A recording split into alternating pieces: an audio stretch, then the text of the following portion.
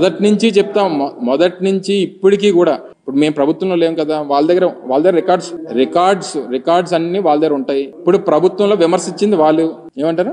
ఎవరు చెప్పబెట్టుకున్నాం కదా? అందుకు చెప్పి మేము అన్ని రిలీజ్ చేసాం కదా. ప్రారంభోత్సవం చేసినటువంటివన్నీ కూడా మేము అఫీషియల్గా మంత్రులు వచ్చి చెప్పాను కదా. నేను మీకు ఆ రోజు చెప్పాను కదా. మేము ప్రారంభోత్సవం చేయకముందు మేము మా ప్రారంభోత్సవానికన్నా ఒక నెల రెండు నెలలకు ముందే ఒక three men committee senior IAS ఆఫీసర్స్తో committee వేశాం.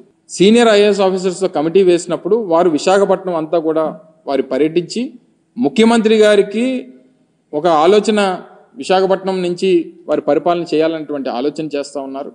ఈ క్రమంలో ఈ ఈ నిర్మాణాలు అయితే బాగుంటాయి అనేటువంటిది వారు వ్యక్తపరిచారు.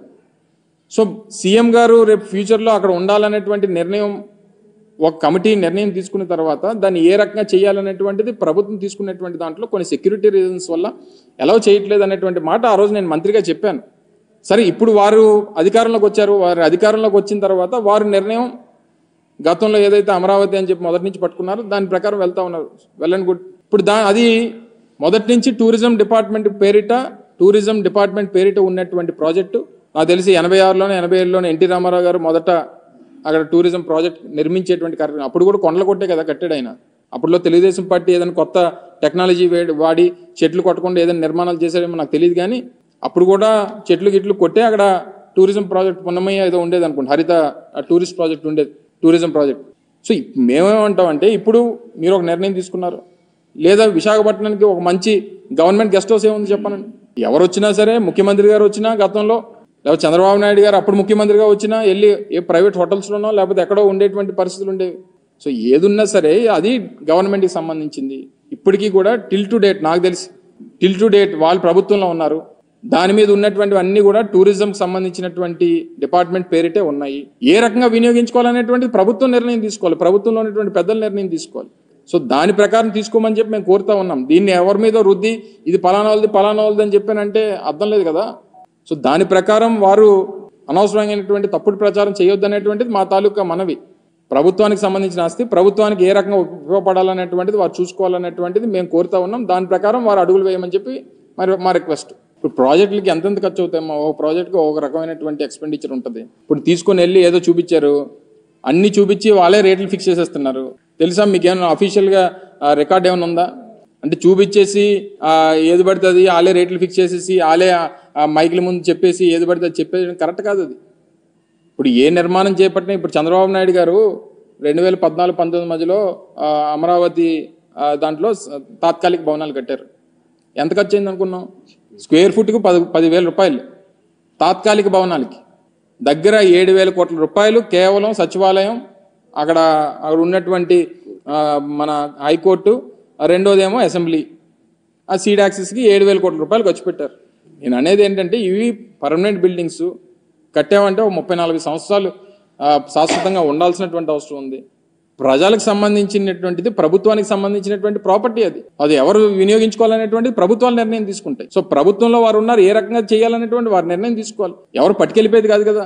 సో ఏదన్నా ప్రభుత్వానికి సంబంధించి ప్రభుత్వ ఆస్తిగానే ఉంటుంది నేను అనేది సో దాన్ని ఏ రకంగా సద్వినియోగం చేసుకోవాలనేటువంటి వారు నిర్ణయం తీసుకోవాలి. ప్రధానమంత్రులు ప్రధానమంత్రి గారు కానీ రాష్ట్రపతి గారు కానీ ఎక్కడున్న సి వారి ప్రోగ్రామ్స్కి వచ్చినప్పుడు వాళ్ళ ఆధీనంలో ఉంటారు. జనరల్గా త్రివిధ దళాలకి అధిపతిగా రాష్ట్రపతి ఉంటారు కాబట్టి సహజంగా ఈస్టర్న్ నేవల్ కమాండ్ ప్రోగ్రామ్స్ ఎక్కువగా వచ్చేది మన దగ్గర రాష్ట్రపతి దేనికి వస్తుంటారు? నేవల్ సంబంధించినటువంటి యాక్టివిటీస్లో మేజర్గా మనకి పార్టిసిపేట్ చేస్తుంటారు. సో ఎవరు వచ్చినా దేనికి వినియోగించుకోవాలి? గవర్నర్ గారు వస్తారు గవర్నర్ గారికి వినియోగించుకోమనండి. సో ఎవరు వచ్చినా అది ప్రభుత్వానికే కదా అని అంటున్నాను నేను. వాళ్ళు చిత్రీకరించింది ఏంటంటే నిన్న వారంతా కూడా చిత్రీకరించింది ఇది జగన్మోహన్ రెడ్డి గారి బిల్డింగు. జగన్మోహన్ రెడ్డి గారి బిల్డింగ్ ఒకవేళ మళ్ళీ ముఖ్యమంత్రి గారు ఏంటంటే బహుశా ఆయన అక్కడి నుంచి పరిపాలన చేసేవారేమో. ఇప్పుడు వారు కదా ఇప్పుడు చంద్రబాబు నాయుడు గారు కదా ముఖ్యమంత్రి. సో నేను అనేది ఏంటంటే దాన్ని ఏ రకంగా వినియోగం ఆ? రోజు ఆ రోజు మా ప్రభుత్వ విధానం ఆ రోజు మా ప్రభుత్వ వి- విధానం విశాఖపట్నం నుంచి పరిపాలన చేయాలనేటువంటిది మా ప్రభుత్వ విధానం. మొన్న ముఖ్యమంత్రిగా జగన్మోహన్ రెడ్డి గారు ఎన్నికై ఉంటే విశాఖపట్నం నుంచి ప్రమాణ స్వీకారం చేస్తామని చెప్పి చెప్పాం. సో మా పాలసీ మాకుంది మా విధానం. సరే ప్రజలు ఒక నిర్ణయం తీసుకున్నారు. తెలుగుదేశం పార్టీకి అధికారాన్ని ఇచ్చారు. ఇప్పుడు దాన్ని ఏ రకంగా వినియోగించుకోవాలనేటువంటి దాని మీద మా సలహా ఇప్పుడు చంద్రబాబు నాయుడు గారు మా- కోరిక అయితే విశాఖపట్నం నుంచే విశాఖపట్నాన్ని రాజధాని చేయాలని. కానీ వారి నిర్ణయం వారి విధానం వారికి అమరావతి. సో ఏదేమైనప్పటికీ వారి నిర్ణయంలో మార్పు ఉంది కాబట్టి లేదా వారి విధానంలో వారి వారికి వేరే విధానం ఉంది కాబట్టి మార్పు అనే దానికన్నా వారికి ఒక విధానం వేరే ఉంది కాబట్టి. సో ఇప్పుడు దాన్ని మా మా తాలూకు సజెషన్ అది. దాన్ని ఏ రకంగా వినియోగించుకోవాలనేటువంటిది వారి ఇష్టం. ఒకవేళ మేమే అధికారంలోకి వచ్చి ఉంటే మా గతంలో మా అధికారులు చెప్పినట్టుగా వారు సూచించినట్టుగా ముఖ్యమంత్రి గారు అక్కడి నుంచి పరిపాలన చేసేవారు. మా మా విధానం అది. సో ప్రజల్లో ప్రజాస్వామ్యం దీనికి ఒక నిర్ణయం వచ్చింది. ప్రజల నుంచి ఒక తీర్పు వచ్చింది. తీర్పు ప్రకారం వారు అధికారంలోకి వచ్చారు. వారి విధానాలు ఒకటి ఉన్నాయి. వారి విధానాల ప్రకారం చేస్తారు మా తాలూకు సజెషన్ అది. దాన్ని ఏ రకంగా వినియోగించుకోవాలనుకున్నా అది ప్రభుత్వ ఇష్టం.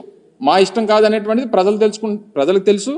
అది మా ఇష్టం అన్నట్టుగా మా కోసం కట్టుకున్నాం అన్నట్టుగా దాన్ని చిత్రీకరించడం కరెక్ట్ కాదనేటువంటిది మా అభిప్రాయం. దాన్ని మేము క్లారిటీ ఇస్తున్నాం తప్ప ఇంకే దానికి సంబంధించి ఏ నిర్ణయం తీసుకోవాలన్నా ఇప్పుడు ఉన్నటువంటి ప్రభుత్వం తీసుకోవాలనేటువంటిది మా తాలూకా అభిప్రాయం. మరి అంటే నేను కూడా మంత్రిగా ఉన్నాను మొన్నటి వరకు. మా క్యాంప్ ఆఫీసెస్ ఉంటాయి.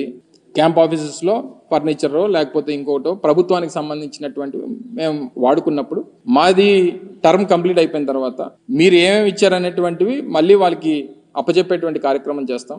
ఇవి కాకుండా ఇంకేదన్నా ఉంటే వాళ్ళని తెలియజెప్పమని చెప్పి చెప్తాం. లేదా కొన్ని సందర్భాల్లో ఏమంటారంటే ఇవి మిస్ అయ్యానో లేకపోతే ఇవి రాలేదనో ఈ టైంలో దీనికి ఇది డబ్బులు కట్టమని చెప్పి వారు ఒకసారి కోరుతుంటారు.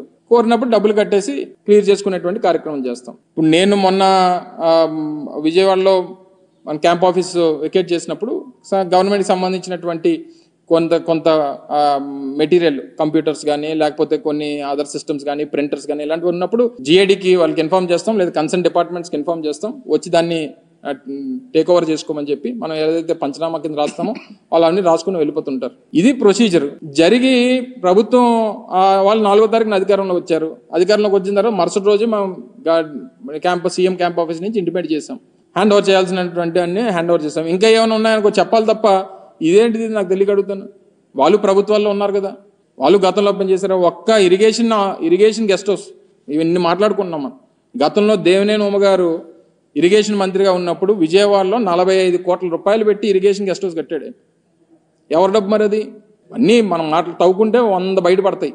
సో ఏదేమైనప్పటికీ ఇవి కొన్ని ప్రొసీజర్స్ ఉంటాయి. ప్రొసీజర్ ప్రకారం జరుగుతాయి. ఇప్పుడు గతంలో వాళ్ళు కోడెల శివప్రసాద్ గారితో కంపేర్ చేస్తున్నారు. అది సంవత్సరం పోయిన తర్వాత వచ్చింది బయటికి అది. ఇది మేము అధికారం పోయి కేవలం పది పదిహేను రోజులు అయింది.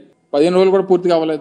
ప్రొసీజర్ ప్రకారం అని జరుగుతుంటే వాళ్ళ కన్సర్న్ డిపార్ట్మెంట్కి ఏమైనా ఉంటే వాళ్ళు అయితే రేట్ కడుతుంటారు. లేకపోతే మనకు ఒకవేళ ఒకవేళ మెటీరియల్ ఉంటే వాళ్ళు తీసుకెళ్ళిపోతారు. మనం హ్యాండ్ ఓవర్ చేసేస్తుంటాం. ఇది ప్రొసీజర్ ప్రకారం జరిగేటువంటిది.